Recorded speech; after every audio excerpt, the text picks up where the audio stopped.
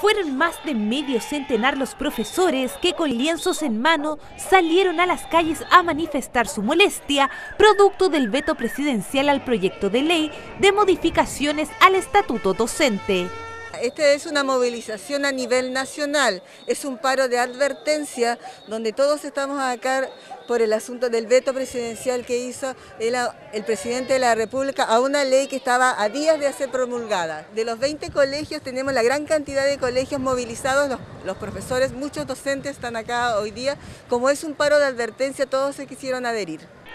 una medida de presión y advertencia a los poderes ejecutivo y legislativo para intentar revertir el veto emanado por el mandatario, el que afectaría, según el magisterio, a las mejoras laborales que buscaban para los docentes. Esa ley trataba mucho de la titularidad de muchos docentes que tenemos a contrata, especialmente en esta zona que es de Punta Arenas, que tenemos más de 800 profesores a contrata, que no condice a la ley que corresponde, que es el 80-20